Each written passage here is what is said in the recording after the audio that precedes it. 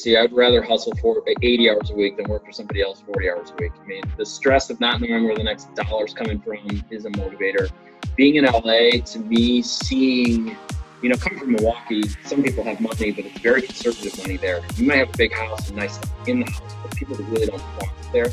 Out here, it's it's flaunted, and you yes. either uh, are motivated by that or totally turned off. And I'm motivated, so um, I love seeing that. That drives me that's I mean obviously being successful and all the stress it's got to be you know it's got to be some payoff. Definitely.